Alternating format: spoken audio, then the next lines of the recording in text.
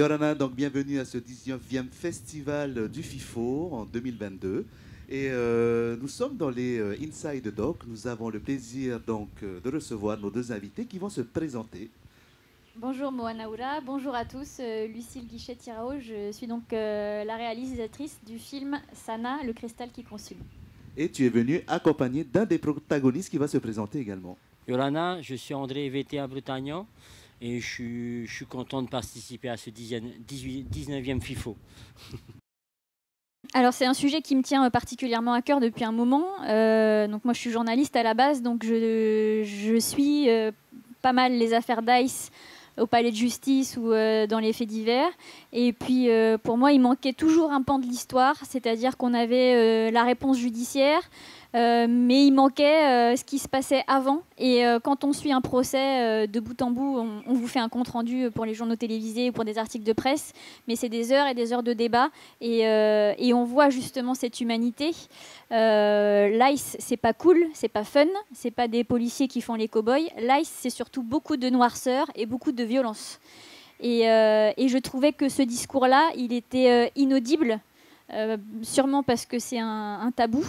Et donc, euh, j'ai pris un peu la chose à l'envers, c'est-à-dire qu'on était parti sur un, format magazine pour la, télé, mais un format court.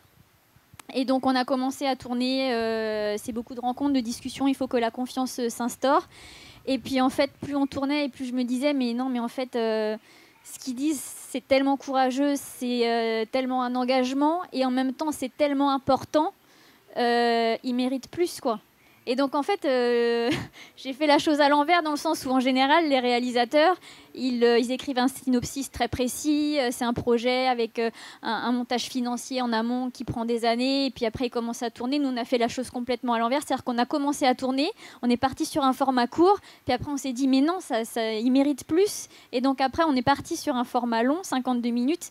Et c'est pour ça que j'aime bien dire qu'en fait, ce sont eux qui ont construit ce film c'est-à-dire les trois personnages qu'on suit pendant 52 minutes, Vanina, André, et puis celui qu'on a appelé M, qui, euh, euh, choisit de témoigner à visage euh, caché.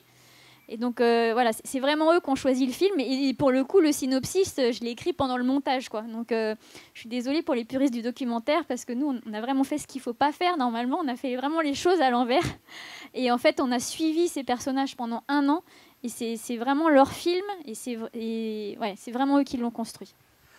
Euh, c'est bien ce que tu dis. Tu nous dis que c'est eux qui ont construit ce film, mais en même temps, il fallait pouvoir gagner leur confiance en quelque sorte. Comment ça s'est passé justement cette relation avec ces trois personnages? Comment tu as euh, pu, entre guillemets, gagner cette confiance, t'approcher d'eux et t'approcher du milieu finalement? Alors, euh, pour être très clair, Vanina et celui qu'on appelle M, donc qui témoigne à visage caché, je les ai rencontrés pendant leur procès. Euh, donc euh, aux suspensions d'audience, on discute, euh, on, essaye d'établir une relation de confiance et je pense qu'à partir du moment où on est très clair, on est très transparent sur le projet, sur l'idée qu'on en a, même si elle a beaucoup évolué en fait au cours du tournage, eh ben finalement ça s'est fait assez, assez facilement.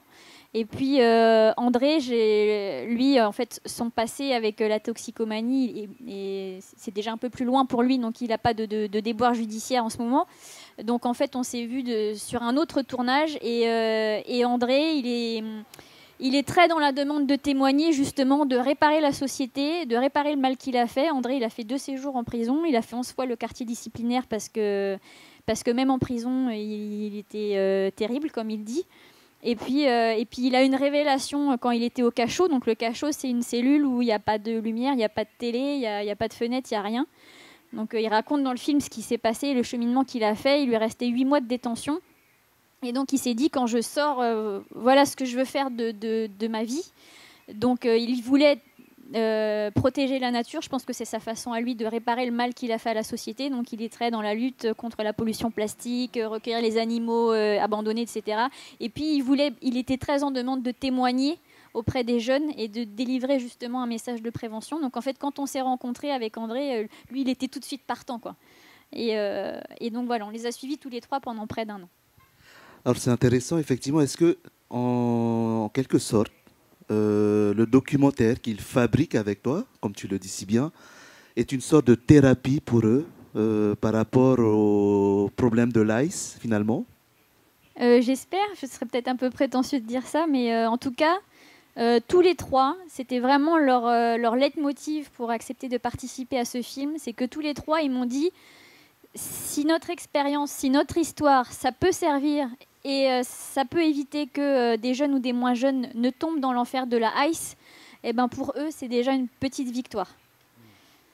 Euh, après, quand, je leur ai dit que c'était sélectionné au FIFO, en fait, il y en a plusieurs qui ont été surpris en fait que leur histoire soit intéressante. C'est ce qu'ils m'ont dit.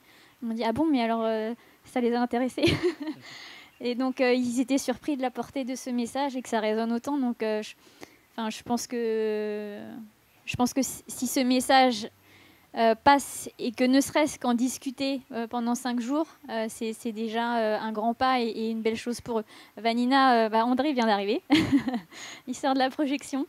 Et Vanina doit venir jeudi. Je sais qu'elle elle a beaucoup hésité à venir, elle hésite encore. Elle est à la fois excitée et à la fois beaucoup d'appréhension.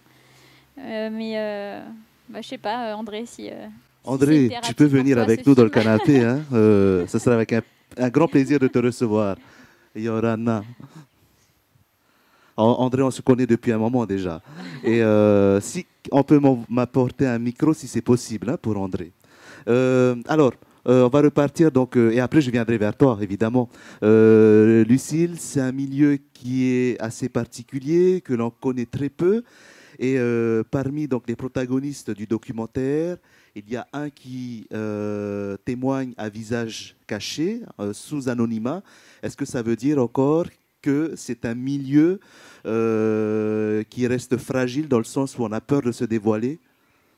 Alors, il y a deux choses. Je pense qu'il y a beaucoup de tabous autour de, de cette drogue-là et de l'addiction à cette drogue-là. Euh, alors que paradoxalement, ça concerne énormément de familles. Euh, Il n'y a pas de chiffre précis, mais euh, la justice, le parquet dit environ 10 000 consommateurs. Si on enlève les jeunes enfants et les personnes très âgées, euh, c'est énorme. Euh, donc à peu près 10 000 consommateurs, ça veut dire qu'il n'y a pas une famille qui n'est pas concernée, qu'il n'y a pas un frère, une cousine, un tonton, un voisin euh, qui est soit euh, dans l'addiction, soit dans le deal. Euh, C'était quoi ta question? Pardon. Donc, je disais, on parlait du fait qu'il soit euh, sous, sous couvert d'anonymat euh, Ah oui, par oui, rapport au personnage de M. Oui, alors donc effectivement, il y a à la fois ce, ce- ce tabou-là, et puis euh, M, il a une histoire particulière qui est hyper violente et hyper dure, euh, avec euh, des, des séquestrations, des violences, de la prostitution. euh, il a dû se prostituer pour se payer ses doses, il a vécu à la rue, il a été séquestré au, au Mexique, il était dans une, euh, dans une bande hyper violente, euh, qui actuellement, toute la bande est en détention. Mais il est resté très très traumatisé euh, de cette euh, période-là. Et en plus, euh, il, euh, il reste très fragile. C'est-à-dire que sur les trois, euh, c'est vraiment celui qui est le plus sur le fil, où en fait on sent qu'il suffit qu'il y ait le pied qui glisse un peu et, euh, et, et c'est encore la dégringolade. Donc il, il a, je pense qu'il a besoin de temps pour se reconstruire. euh, et, et il a peur des représailles aussi. Voilà, c'est deux choses. euh, Merci. VTA, euh, André, Yorana. Mhm. Et euh, alors, merci d'être là, merci d'être venu, et puis euh, merci d'avoir accepté euh, au pied de lever euh, de venir euh, nous rejoindre dans ce salon. Euh, C'est un plaisir et un honneur de te recevoir également. Tu es l'un des protagonistes donc, de ce documentaire qui est présenté au FIFO. Euh, quand Lucille t'a annoncé cette nouvelle, comment tu l'as pris finalement? Ah, j'étais vraiment heureux et fier. hein, parce que quand j'étais au fin fond de ma cellule, j'ai j'ai aimé regarder le FIFO. J'aime la culture, j'aime euh, j'aime voir tout ce qui se passe, que ce soit en Australie, au Samoa. Et je me suis toujours dit que quand je vais sortir de prison, j'ai quand même fait 5 ans, c'est lent, hein, c'est un, tiers de ma vie quand même. Je me suis toujours dit que quand je sortirai du- de prison, je viendrai.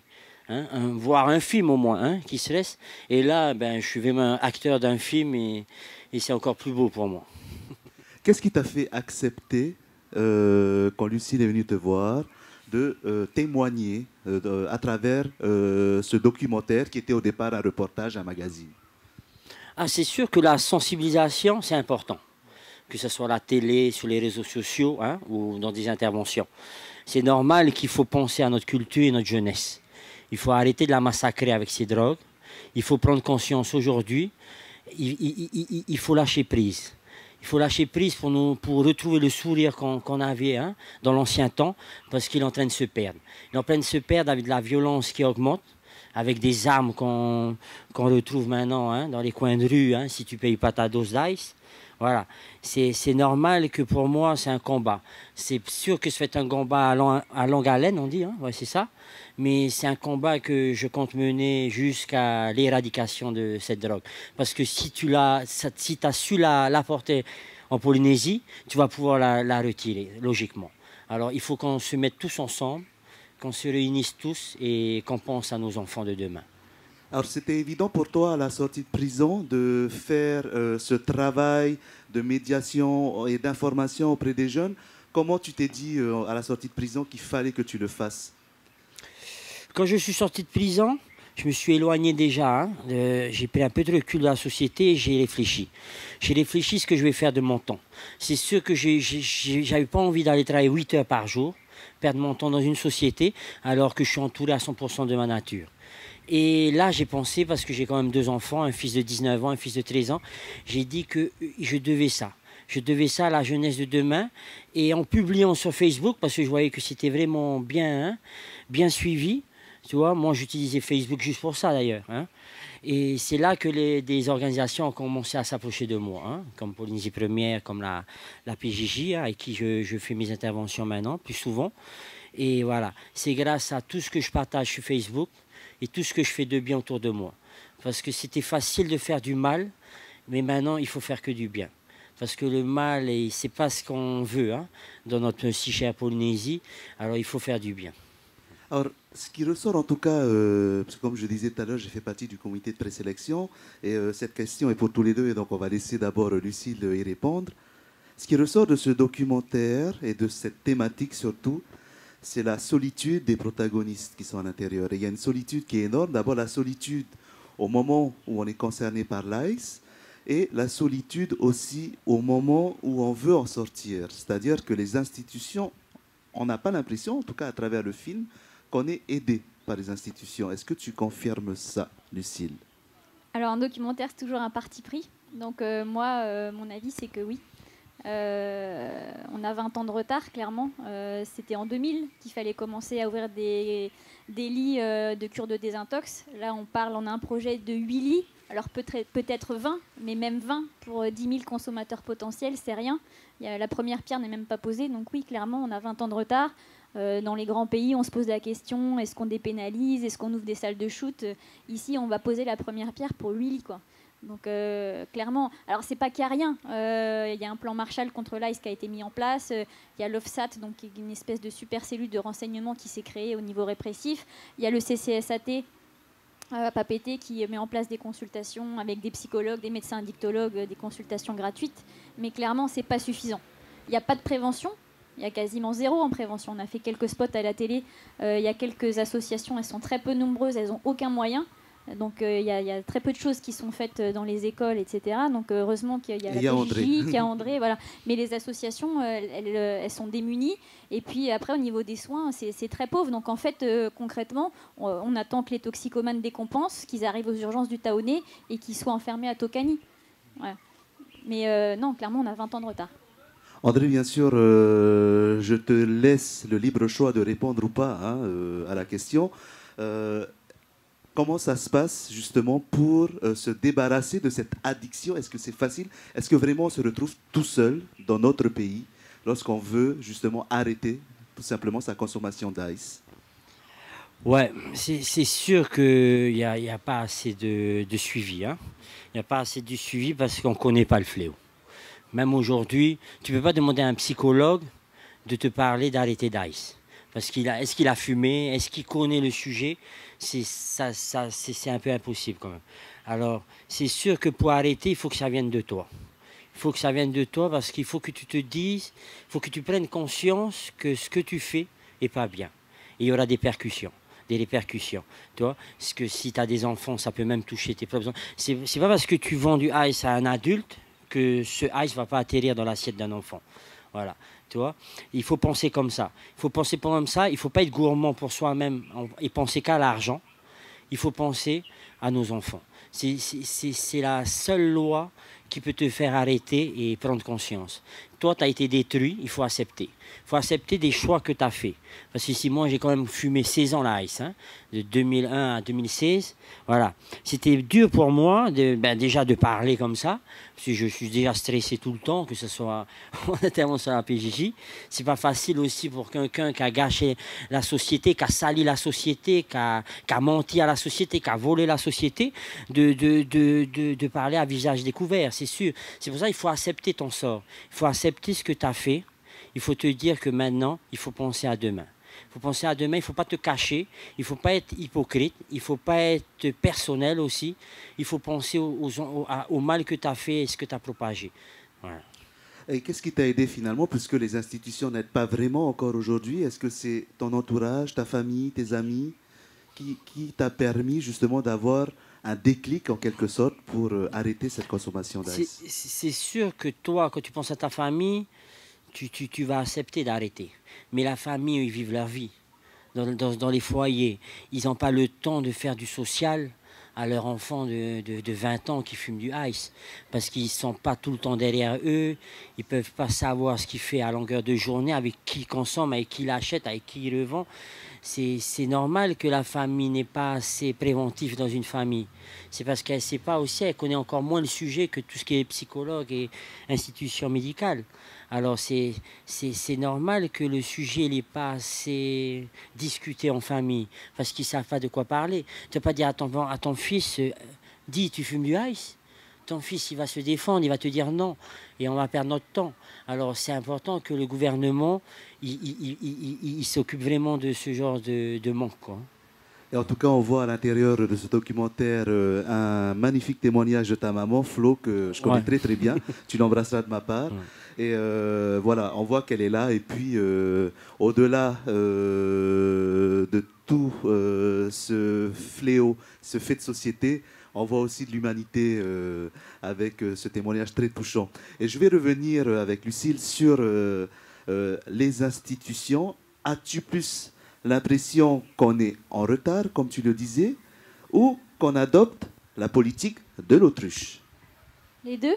Les deux, d'accord.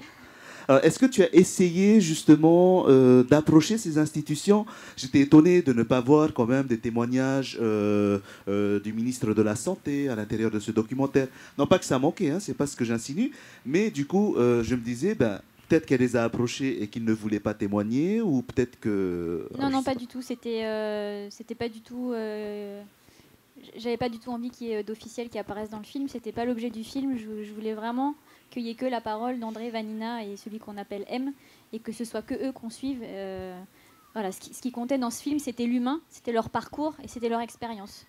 Après les autorités ils ont peut-être des plans des avis mais c'était pas du tout le sujet du film D'accord. Et euh, alors, par rapport à euh, l'ensemble du film, quelles sont les découvertes que tu fais au fur et à mesure des investigations euh, que tu entreprends pour le film, d'une part? Et deuxième question, j'étais aussi curieux de savoir pourquoi n'as-tu pas réussi à intégrer des réseaux?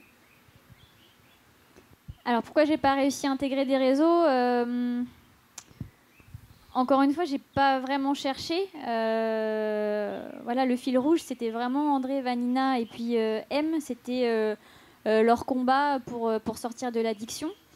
après, ça aurait pu se faire, intégrer un réseau et puis savoir ce qu'ils font, mais, c'est un vrai sujet à part entière. Peut-être que ça aurait mérité un, film à part entière en immersion dans un réseau c'était c'était pas euh, c'était pas vraiment le sujet. Après sur ce que j'ai découvert euh, au cours du tournage, euh, en fait c'est eux, c'est leur force intérieure qui m'a surprise à chaque fois. sur la noirceur et la violence de l'ICE, j'ai pas découvert grand chose parce que depuis des années que je suis les affaires au tribunal, enfin, ça doit faire 15 ans que je suis les affaires, donc je sais à quel point ça peut être noir, à quel point ça peut être violent. Euh, on les entend qui témoignent à la barre, hein, tous, euh, quel que soit leur degré d'implication euh, dans le trafic. Mais, mais en fait, ce que j'ai découvert, c'est l'aventure humaine, leur aventure humaine à eux, leur force de caractère, et puis, et puis l'amour aussi. parce qu'en fait, ce qui ressort à chaque fois, c'est que quand un milieu familial ou des proches qui te soutiennent, ça marche quand même mieux. Ça ne veut pas dire que ça marche à 100%, mais ça marche quand même mieux que quand tu es tout seul. Euh, et, dans le film, on le voit bien parce que le seul qui est sur le fil, c'est celui qu'on appelle M. Et justement, c'est pas solide autour de lui. Et c'est très compliqué pour lui parce que lui, pour le coup, il est tout seul.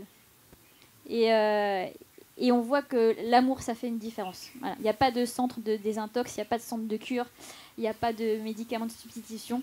Mais en attendant, l'amour, ça fait la différence et le soutien de la famille, ça fait la différence. Tu confirmes, André, l'amour est important euh, finalement. Et je vois que finalement, toi, tu as euh, euh, exprimé cet amour quelque part avec l'amour de son pays, l'amour de la nature. Ouais, c'est ça.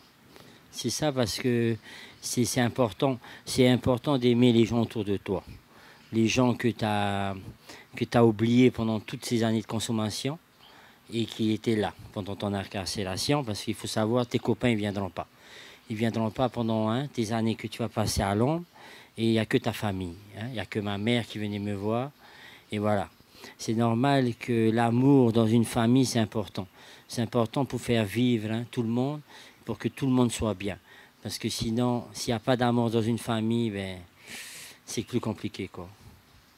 Quels sont tes, euh, tes projets euh, pour cette année par rapport à la prévention ou par rapport à d'autres projets Si tu peux nous en parler un peu?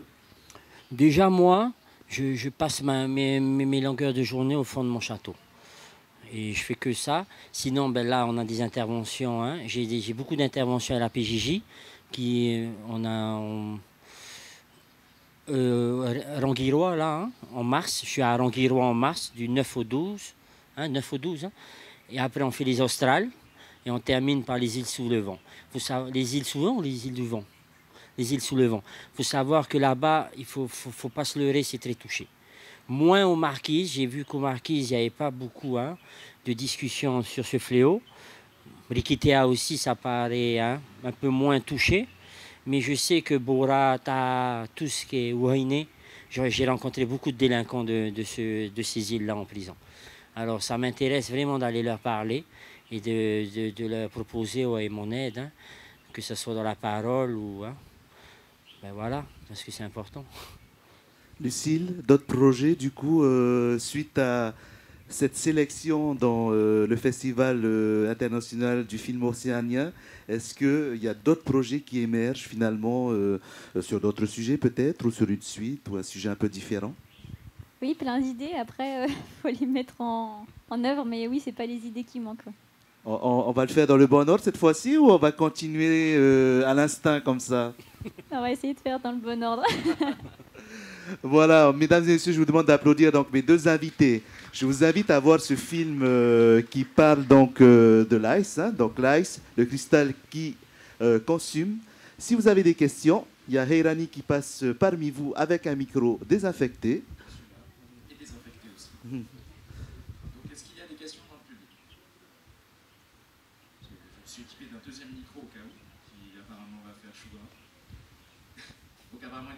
je te laisse clôturer du coup, euh, Voilà, ben écoute, je souhaite justement euh, un bon, une belle aventure au FIFO pour ce film et pour toi et pour les deux autres protagonistes, pour toi en tant que euh, réalisatrice.